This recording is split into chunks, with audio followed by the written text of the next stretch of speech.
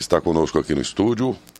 O Hélio Prandi vem para falar do que tem sentido em sua secretaria, se está sentindo o mesmo que a gente percebe aqui no nosso programa. Vocês sabem que o Bom Dia Matão, graças a Deus, desfruta de uma audiência fantástica, enorme na cidade. Por isso, e pela credibilidade que a gente apura sempre em pesquisa para saber o que o ouvinte pensa de nós, do nosso trabalho, a gente percebe da confiança que o ouvinte tem. Também por esta confiança é que as pessoas reportam ao nosso departamento de jornalismo para manifestar suas necessidades. E eu tenho notado aqui, secretário, um aumento muito grande de procura nos últimos tempos. De alguns meses para cá, um aumento grande. Um aumento considerável de pessoas que buscam, é, muitas vezes, por necessidades essenciais de comida, de água cortada. Eu não consigo ainda entender esta relação de algo que é da natureza, é um bem social fantástico que é a água e, de repente, a pessoa ser privada desta água, quer dizer, é um negócio difícil de entender. Mas não, é, nós queremos tratar aqui de, de, toda esta necessidade manifestada pelos ouvintes aqui no programa. E todos os dias e cada vez mais, se vocês têm percebido isso também na, na secretaria. Bom dia, Hélio.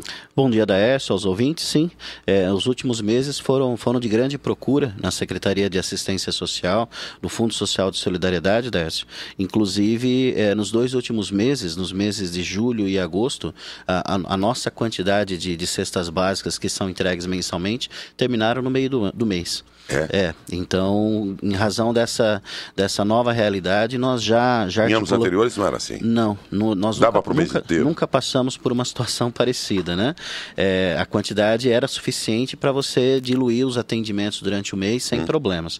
Então, nós já tomamos por decisão o aditamento de contrato. A partir do mês de setembro, nós já ampliamos o número de cestas para poder bem atender a população é, e estamos nos programando para o período da entre safra, o período do início início da safra já do ano que vem também. O que nós podemos constatar é que esse ano uh, atrasou o período da safra da laranja, né? É, começou um pouco mais tarde. Seria até onde... isso, na opinião de vocês, a razão isso, isso, isso. E nós, nós recebemos muitas famílias de fora também que nos primeiros, no primeiro mês geralmente pedem a nossa ajuda.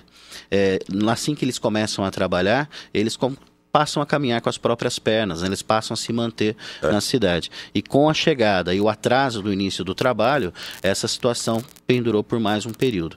Então, é, além disso, óbvio, a situação de, de instabilidade financeira. Eu ia perguntar né? se a economia, se o problema econômico não estaria já demonstrando socialmente as suas mazelas? Eu creio que sim, creio que sim. Não, não, não descarto também esse panorama, porque hoje você, aparentemente, você tem uma redução de trabalho informal, né? você tem aquele, aquela, aqueles trabalhadores autônomos talvez estejam hoje encontrando um pouquinho mais de dificuldade de, de prestação de serviço e assim por diante. Por isso que a Secretaria já teve que agir rápido, junto com o Fundo Social, de reorganizar as quantidades. É, nós estamos a todo vapor com a atualização dos cadastros únicos. É, aspecto importante para o nosso benefício de transferência de renda, exatamente para poder garantir uh, temporariamente né, o subsídio àquelas famílias que hoje mais precisam. Quais são os meios para se buscar essa ajuda da família que está passando necessidade? É diretamente na secretaria? O, a, a, única exigência que a, que a secretaria faz, é, no, na verdade o Fundo Social faz, Daécio, é que a família tenha antes um cadastro com, com o assistente social do CRAS do bairro. Não é?